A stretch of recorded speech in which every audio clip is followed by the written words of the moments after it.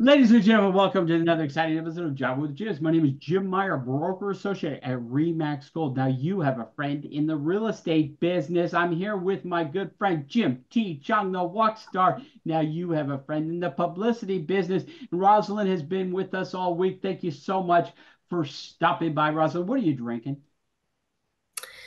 I'm back to my decaf.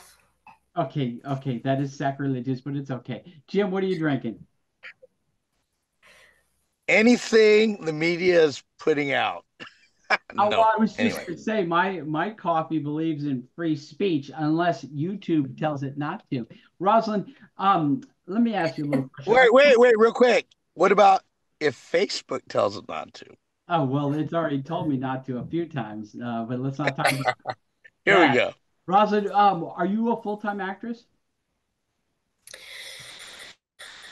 Um, at the moment, no. I I do uh, work nine to five, um, or five thirty. Uh, so I do hold a, a regular job. Um, so no, I'm not a, a full time actress yet. Um, that's the goal.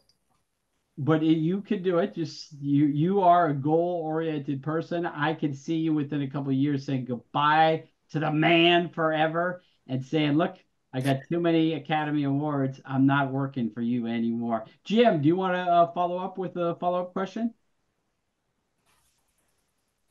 Or Jim, are you frozen? Okay, Jim is frozen. Okay, so Rosa, will you come back go with us again for uh, one more episode tomorrow? Yeah, definitely. I'll be there. Ladies and gentlemen, thank you very much.